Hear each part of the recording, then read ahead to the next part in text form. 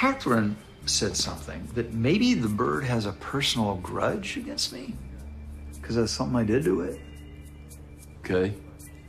Yeah, well, I haven't seen the bird in 20 years, so that's insane, right? Well, animals know their people, and they don't ever forget. Huh, yeah. I was afraid you'd say something like that. Did you do something that you would have beef with this bird? So, after 9 11, I threw myself into my work. I was always at the firehouse, I was never home.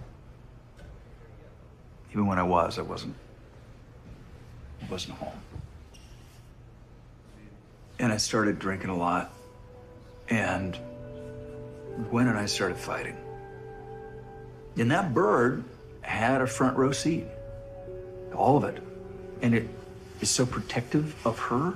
Squawk and snap and whenever we fought. And so I, I yelled at it. Shut up! Butt face. So you called the bird butt face first. It wasn't my finest hour. And I've been thinking about the last thing that I said to Gwen the night that I moved out. She had, um,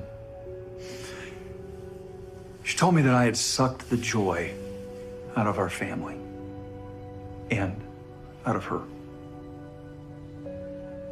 What'd you tell her? I told her to get over it. I've always regretted it. I always wanted to apologize for it. Now she's gone. I never will.